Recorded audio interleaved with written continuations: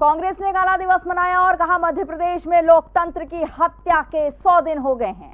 कांग्रेस ने कहा, भाजपा ने सत्ता में आने की हवस के लिए लोकतंत्र का गला घोट दिया है। परासिया में कांग्रेस विधायक सोहन लाल वाल्मीकि समेत सैकड़ों कांग्रेसी कार्यकर्ताओं ने काला दिवस मनाया और तहसीलदार को ज्ञापन सौंपा। भाजपा पर आरोप लगाया कि भाजपा ने मध्य प्रदेश की कांग्रेस सरकार गिराकर लोकतंत्र की हत्या की।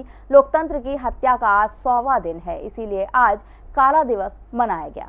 माननीय कमलनाथ जी के निर्देश अनुसार आज पूरे मध्य प्रदेश के अंदर में काला दिवस का आयोजन किया जा रहा है। और ये काला दिवस के संबंध में आपको बताना चाहता हूँ कि तीन माह पूर्व, लगभग सौ दिन पहले, भारतीय जनता पार्टी की केंद्र की सरकार और राज्य की सरकार ने दोनों ने मिलकर लोकतंत्र से जीत कर आई। कांग्रेस की सरकार के साथ में जो व्यवहार किया और सरकार कांग्रेस से गिराई, इसके विरोध में आज यहाँ पर काला दिवस का आयोजन किया जा रहा है। और काला दिवस मनाने का उद्देश्य यही है कि जिस तरीके से लोकतंत्र को समाप्त करने की, भारतीय जनता पार्टी की जो प्रयास किया जा रहा है, निश्चित रूप से हम सब लोगों के लिए एक दुर्भाग्यपूर्ण का विषय है।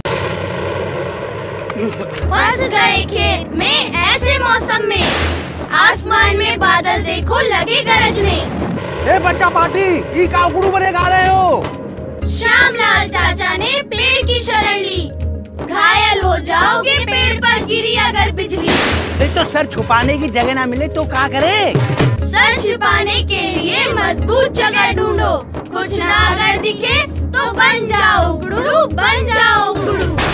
जब भी बादल की गरज सुनाई दे और आसपास कोई मज़बूत छत वाली जगह न दिखाई दे तो तुरंत कान पर हाथ रखकर और एड़ियों को जोड़कर बैठ जाएँ और ध्यान रखें, एड़ियाँ जुड़ी हुई हों। बिजली का खतरा, ऊँचे पेड़, बिजली के खंभों, तारों और पानी में ज़्यादा होता है। इसलिए इन सबसे दूर रहें। तैयारी में ही समझदारी, राष्ट्रीय आपदा प्रबंधन प्राधिकरण द्वारा जनहित में जारी।